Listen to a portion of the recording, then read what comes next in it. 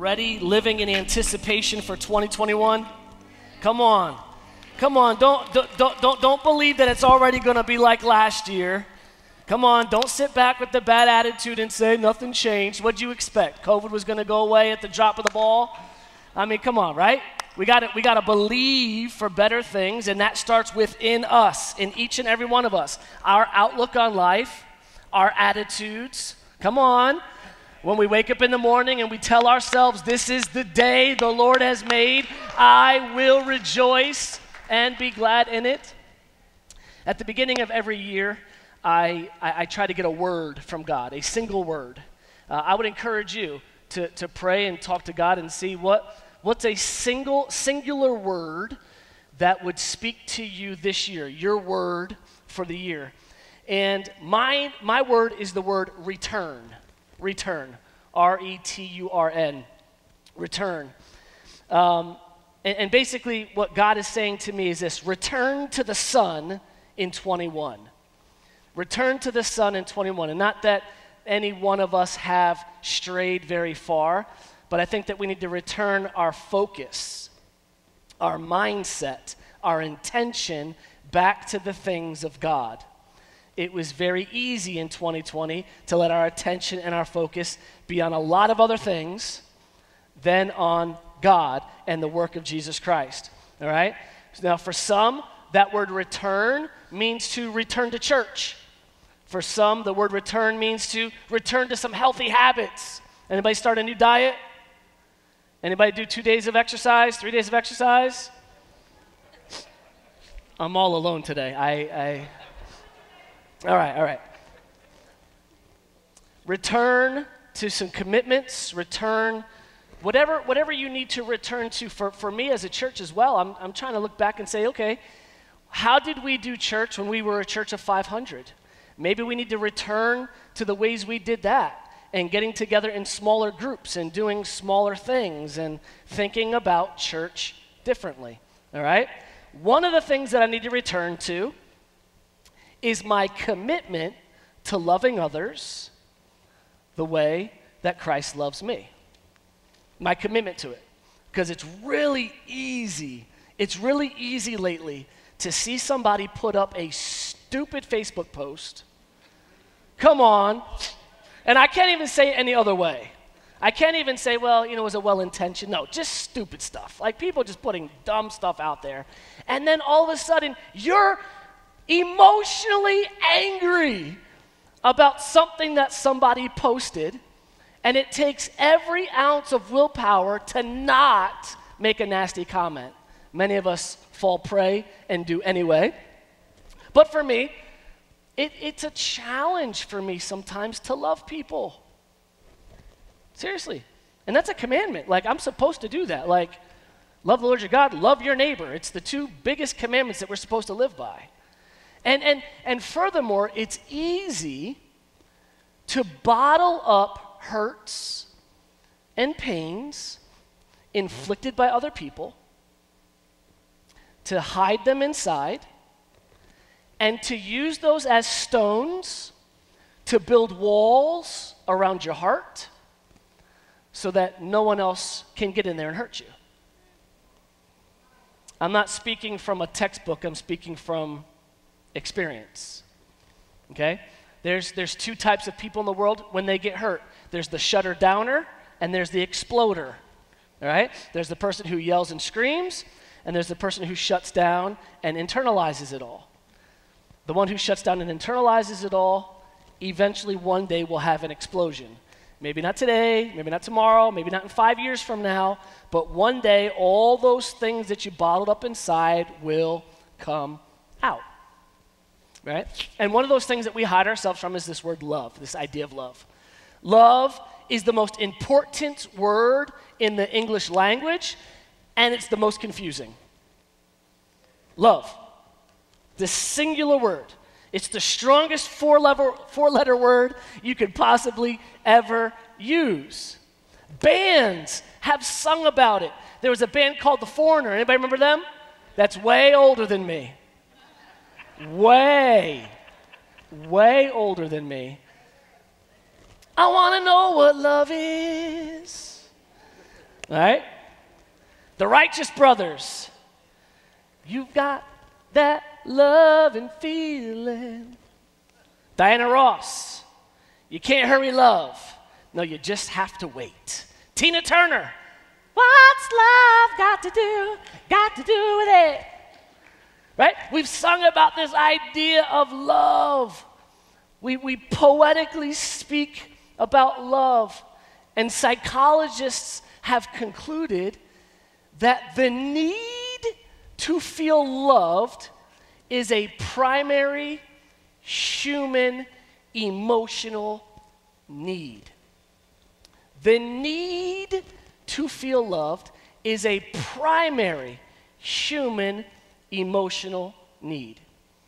We get so absorbed in love romance movies, right? And we watch these young couples that will do anything for love. My wife, every now and then, she reads one of those romance novel things. I've never read one in my entire life. I read a lot of books, but I've never read a romance novel. And my wife will sit down and read like a 400 page romance novel in like two days. And I looking over and she's crying, and I'm like, What are you crying about? She's like so absorbed in this person's story and in their life and what's happening. And oh, Johnny just passed away. Who's Johnny? Love is confusing, especially in the English language, because the Greek language has eight words for love, and in English we have one. Eight words that the Greeks have, and I do not have time to go into all of them today. But, like, let's talk about the English word love. I love the Lord my God. I love my wife. I love my kids. I love my church. I love pizza. I love cars. And I love myself. But I don't love any one of those things exactly the same. Yet, I have one word to describe them all love. All different, yet one English word, and thus it can be so confusing. It's funny. I have a I have two French bulldogs, and, and one's a boy, his name's Wink. And if I start loving on that dog, my son will run over and remind me who his real son, who his real, who his real son is. He will remind me. My son will get jealous of me loving on my dog because I call him my son dog. Oh, come here, son dog. Right? That's my son dog. And then my son wants to come over and remind me. I'm like, dude, I'm, I'm tell- I, I said to the dog I love him, but I don't love the dog the way I love you. At seven years old, the word love is confusing. So, I cannot, in one sermon series, unconfuse the confusion of love. I'm pretty sure unconfuse is not a word, but I just made it a word. I cannot unconfuse the word love today. I cannot. But what I can do is start a conversation in your home and in your relationships about love and how you best feel loved. How do you feel loved? Because that's a problem. That, that's the biggest problem. The way I want to express love may not be the way my wife wants to receive an expression of love. Maybe she doesn't feel loved by the way I'm trying to express love. Huh? All right, can I just throw something out there? I don't see any really young kids in here today, so I can be, I'm not going to be graphic or nothing, but I can just be a little bit more real, right? So, gentlemen, let's just talk about this for a second, right? And it's taken me a little over 20 years of marriage to understand this fact that when I walk into the kitchen and my wife is cooking and she got some music going and she's swinging her butt like this, and I take my hand and I go, bow! I'm expressing love. Huh? Come on, somebody. Gentlemen, you know me, right? You know it right now. Bam! What do you gotta do that for? I'm in the middle of cooking. And I'm like, yeah, I'm like showing you love. That's not love. You know you did it too. You know you still do it. You know you've been doing it for 40 years, still getting the same response.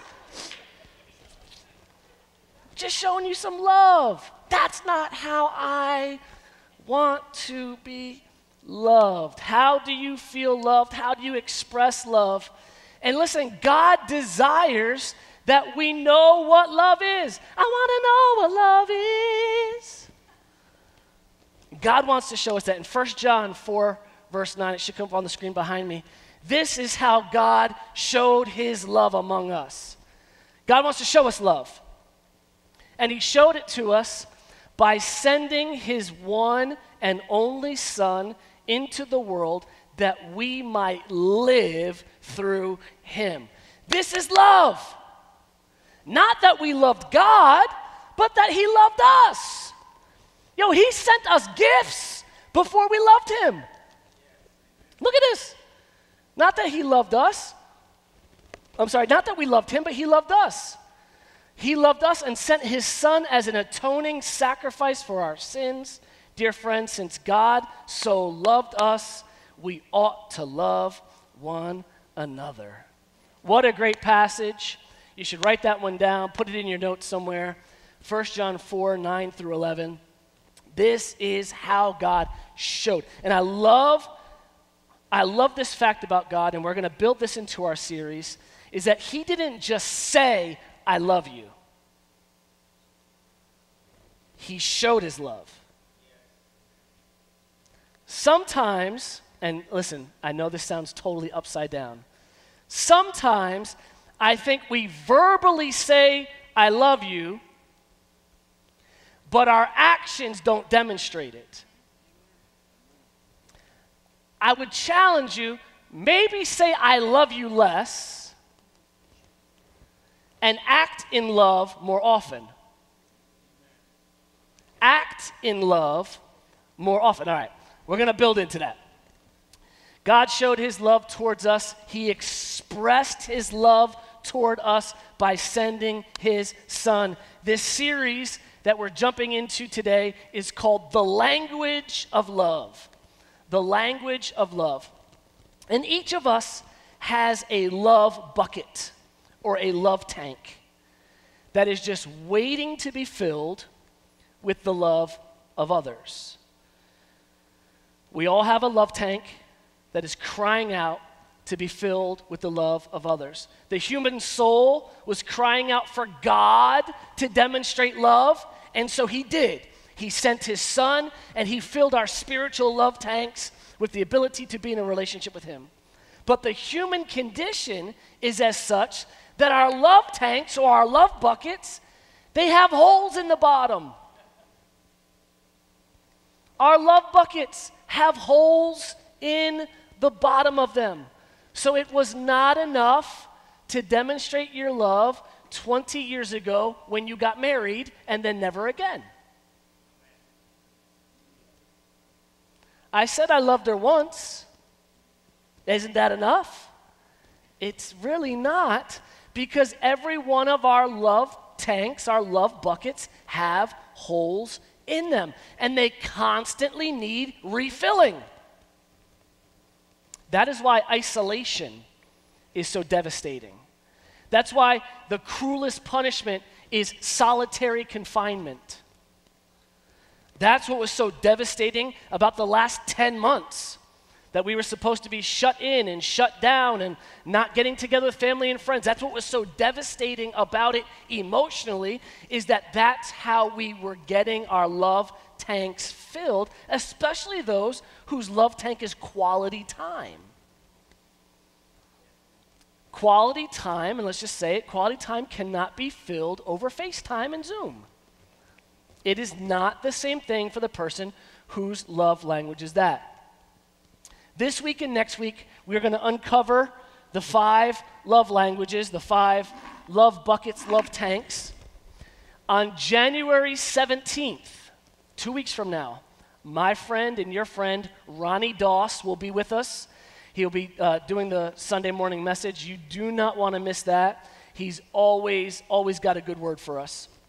And then on the 24th and 31st, we will finish up and close out the other two or other three love languages. We'll see how we go. All right? But let's look for a moment how important love is according to the Bible. All right? Let's take a look at this. In Romans 8:37, he says, "In all these things, in all these things, no matter what you've been through, no matter what 2020 looked like. Come on, somebody. In all these things, it doesn't matter what your past looked like. Doesn't matter what happened to you as a kid. It doesn't matter what happened to you on your way to church today. It doesn't matter that your car broke down last week, that you're losing your home, you're in debt up to your eyeballs. In all these things, we are more than conquerors through him who loved us. We're more than a conqueror through him who loved us. We're conquerors because he conquered, okay? For I am convinced, I love that part. I'm convinced. You got to get to this place in your spiritual walk with God that you're convinced that this thing is real.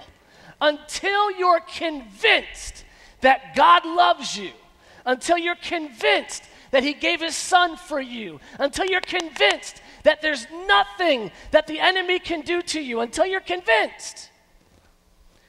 You're going to live an unbalanced life. You're going to be tossed to and fro with every wind and doctrine. You're going to be tossed to and fro with every new news article that comes out. Watch what he says I am convinced neither death nor life, neither angels nor demons, neither the present nor the future, nor any power, neither height nor depth, nor anything else on, in all creation will be able to separate us from the love of God that is in Christ Jesus our Lord. You need to affirm yourself of that today. If you're hearing anybody preach a doctrine that says that there is anything that can separate you from the love of God, they are preaching an anti Christ message. Woo, I said it. I said it. You can post it. Because he's saying right here, he's telling you right here, there is nothing in all of creation that can separate you from the love of God. That includes yourself, your own self. Come on, somebody. Based on this passage, if we truly understand God's love towards us, then we will have strength and boldness to handle anything that comes our way. But being devoid of this knowledge creates our love tank to be empty and to be completely overpowered by the circumstances of life. If you do not believe that God is for you and not against you, if you do not believe that God loves you just the way you are, your spiritual love tank will run empty and you will not have confidence and boldness to do what God has called you to do. Let me ask you this. Maybe lately you've noticed your fuse is a little shorter. Let's just talk about relationships. Relationships. Maybe in your house, maybe in your relationship, maybe you've been fighting a little bit more. Maybe you've been yelling at your kids a little bit more. Maybe, maybe work is more overwhelming than it's ever been. Maybe the drive to work is more overwhelming and, and there's more road rage and anger. Come on, somebody. I'm just saying some stuff here today, just throwing some stuff out. maybe you're more, maybe you're taking it out on the dog. Huh? You're just feeling that there's just like this edge lately in you. And I'm not going to stand up here and say it's because someone's in sin or they're far from God.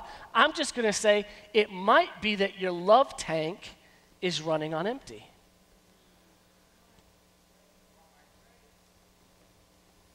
Some of the newer cars cannot run on junk gas. Some of the newer cars, you have to put premium gas, high test gas. And if you don't, the engine starts pinging. You start getting these, like, it sounds like rice coming through the pipes. It's cheap gas. And listen, you can't run on cheap love. You can't run on dirty love. You can't run you can't run when your gas tank, your love tank is low. All those impurities and those things begin to get in your system. And you get edgy, get angry. Come on, when the love tank is empty. Firstly, when our love tank is empty, we have to remind ourselves the first thing is that our source of love is God.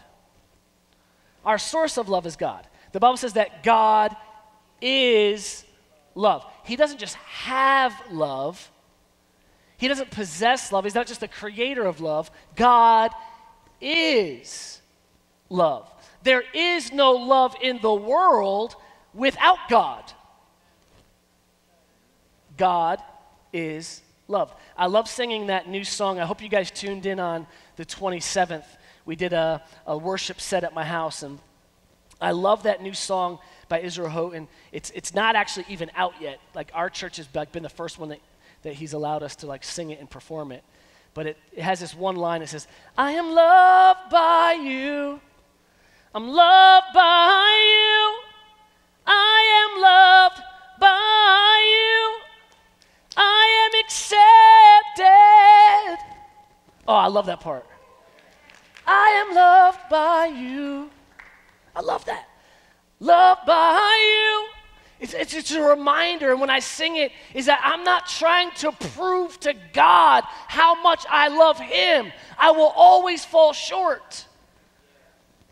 But when I remind myself that I am loved by God Almighty, the creator of the heaven and the earth and the sea and everything in it, it gives me a confidence and a reassurance that I am loved by God. It fills my tank.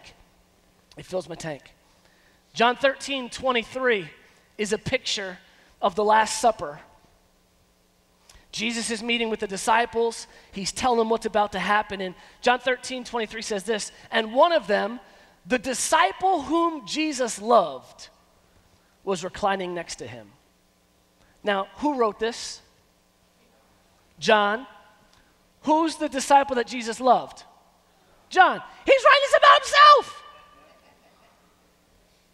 He didn't say Peter, whom Jesus loved. He said, no, no, out of all the disciples, I am loved by you.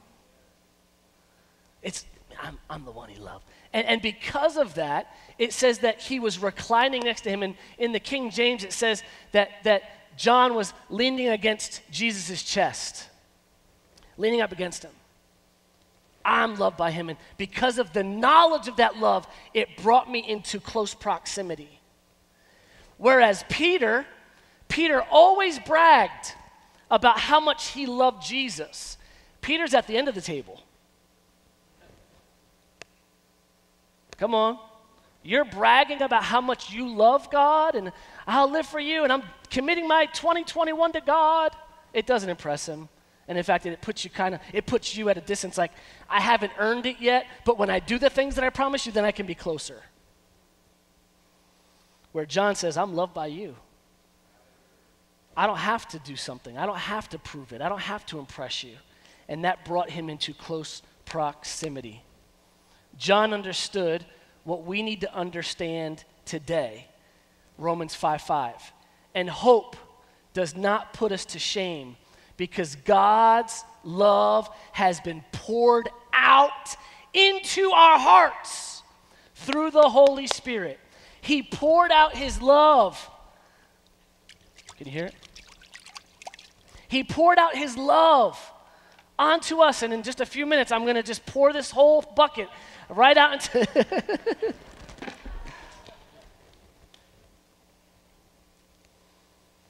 He's our source. He's our love. The Holy Spirit's been given to us, and God poured His love into us. Over the next few weeks, we are going to discover each of these five buckets, but I want you to find your primary love language. Your primary love language. And I know it can be hard because You could have a primary, secondary, and third, and they're all very, very close. But we want to really kind of discover your primary love language. I really want 2021 you to live a life more fulfilled. All right? So, it's sometimes easier to know someone else's than it is your own. But I want you to try to discover yours and then look around at those around you. My hope is that once you know and understand the love language of others, you will fill their love bucket every day that you can and not use it as a weapon. Because I've seen people do that too. Huh? You know, someone's love language is quality time. You're mad at them. Now you ignore them and don't want to be around them. Come on, let's not be petty in 2021. Romans 13, 9 and 10 says, Love your neighbor as yourself, and love does no harm to a neighbor. Love does no harm. So don't use a love language to try to hurt the person by taking it away. All right? So we want to look at our first love bucket today, and it's going to be this one right here words of affirmation. Words of affirmation. Words. Words of affirmation. Mark Twain once said, I can live for two months on a good compliment. What? Michaela McKelvey, my 15 year old daughter, said she can live about 10 minutes on a good compliment. That is, that is one of the things about social media today, about uh, Snapchat, TikTok, uh, Instagram is that the young people are using that as a way to get their love tanks filled. And, and, and, it works good and bad because if they don't get the amount of thumbs up or likes or compliments that they think they should, they're then devastated because it didn't fill their love tank. True facts.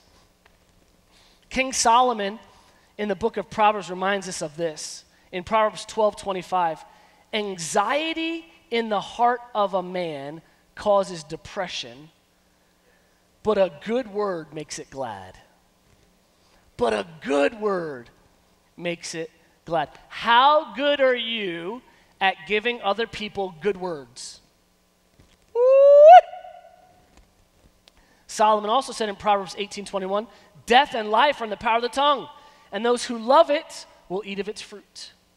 So you have the power in your words to bring life to someone or bring destruction. What are you going to choose to do? So here's some words of affirmation. You look great today. You did a fantastic job. You're the best. You are beautiful. You are amazing. The list goes on and on, right? You can give words of affirmation. Your hair looks beautiful today. I love that outfit. Men, be very careful if your wife asks you, Do I look fat in this?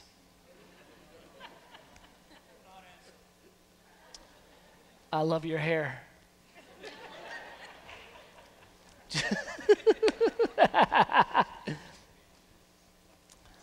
Many of us are fluent in this love language of giving words of affirmation.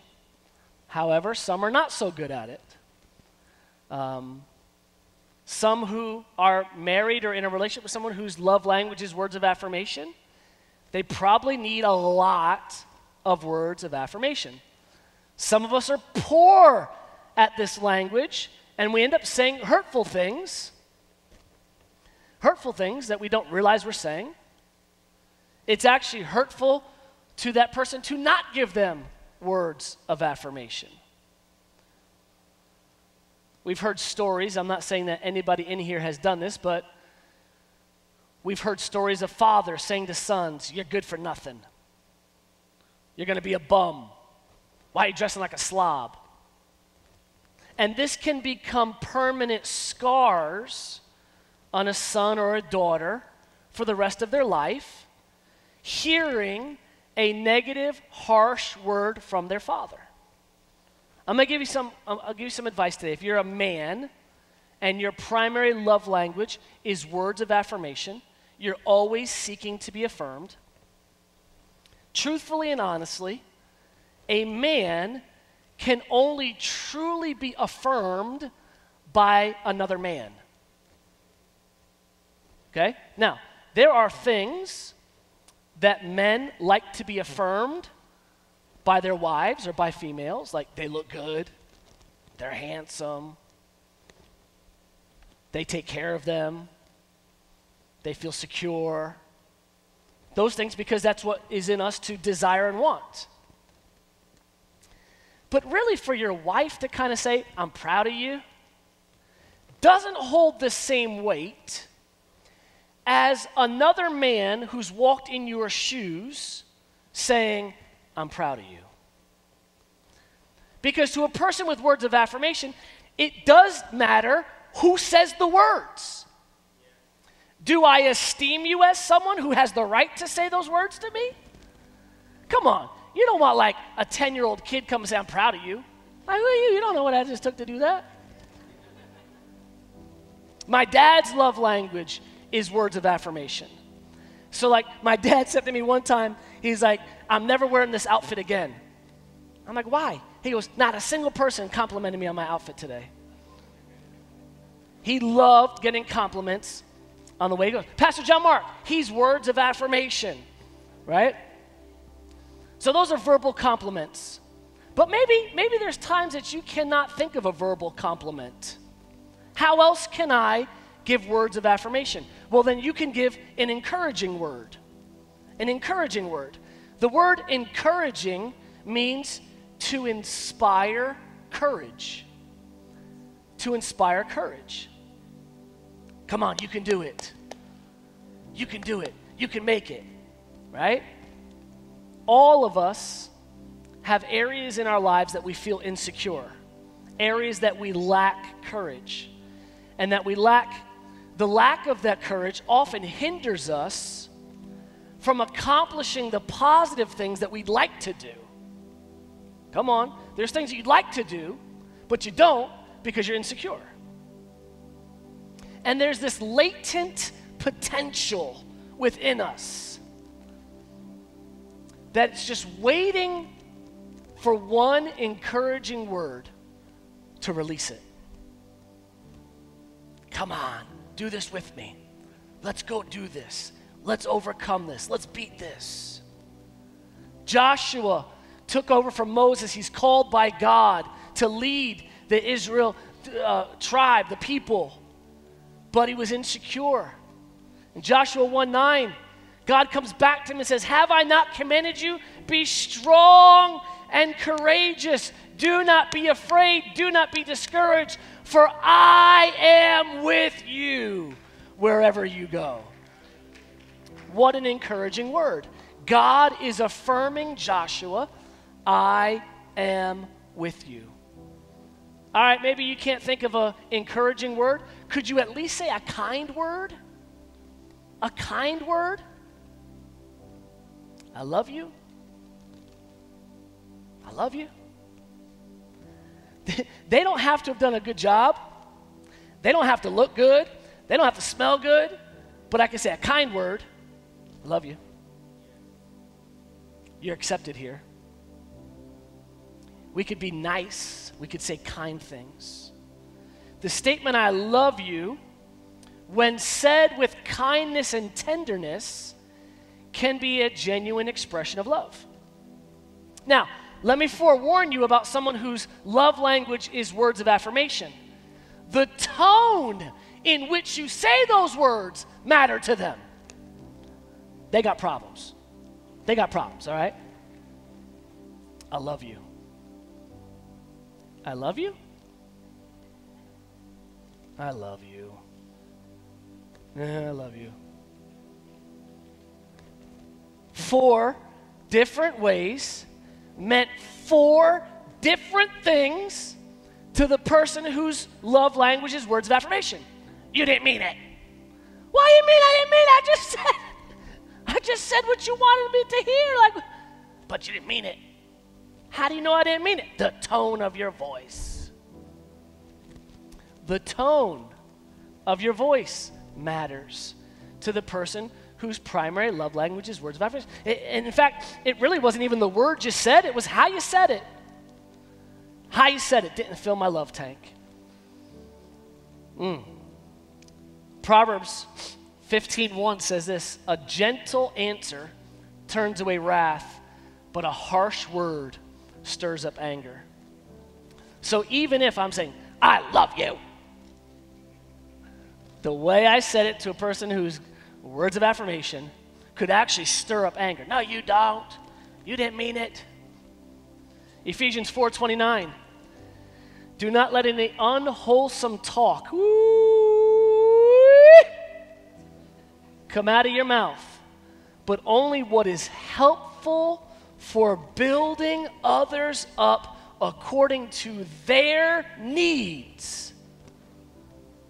Could you imagine having conversations with people for their needs instead of you just dumping your garbage? Could you imagine having conversations, intentional conversations, that were uplifting to the person who was hearing it instead of just being a verbal release for you? We're really, we could go on and on about this love language because it is so vast but we don't have time today. If you believe that your loved one, that their primary love language would be words of affirmation, I encourage you to do some study online.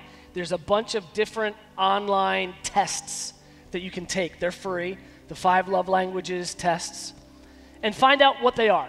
Find out what love language that person speaks. And if you believe that their primary language is words of affirmation. Then today, next week, sometime, find some words and speak it into their heart, speak it into their life, speak words of affirmation into them to build them up. I promise you, as you speak their love language, they will begin to reciprocate the love language that you need spoken back to you. As we close today, I want to affirm you with the words that God spoke to Moses in Deuteronomy 31 5. He said this The Lord will deliver you, and you must do to them all that I've commanded you. Be strong and courageous do not be afraid or terrified because of them, for the Lord your God goes with you. He will never leave you nor forsake you. God will never leave you nor forsake you. He will never leave you nor forsake you. This was a covenant promise. And we live under the same promises today that God will never leave us, He will never forsake us. So He says to you today, be strong. Get this in you. God is saying to you, be strong and courageous, for I am with you. If you haven't heard it lately, hear it today. Hear it from God. He loves you. God loves you. Irregardless of your past, irregardless of your present, irregardless of your tomorrow, God loves you. And if that doesn't mean enough to you, then from me to you, I love you. I love you. Hear it. Now, as humans, do we make mistakes in expressing that love and showing that love all the time? I'll be the first one to repent of that. I haven't always done this well. I haven't always been the best at expressing the love languages that people need. But what we all can do is what the Apostle Paul told us. This one thing we can do best putting the past behind and pressing towards the mark for the prize of the high calling in Christ Jesus. We can press towards being the model that Jesus lived out loud in front of us. Next week, we're going to continue our series on on the love languages. On the 17th, Ronnie Doss, look him up online. He'll be with us. You do not want to miss that. Amen. Let's pray. Father, we thank you for today that your word is alive and powerful, that it's speaking to our hearts. I pray, God, that we can live a year full of love, full of peace, joy, of vision, of excitement. That God, 2021 will be a change in our lives for the good. Help us to put 2020 behind and press towards the mark for the prize of the high calling. I thank you, Lord, for a new year, a new season, a new us. Lead us, guide us into all truth. As we leave here today, Lord, I thank you that everything we set our hands to would prosper and be successful. In Jesus' name, amen.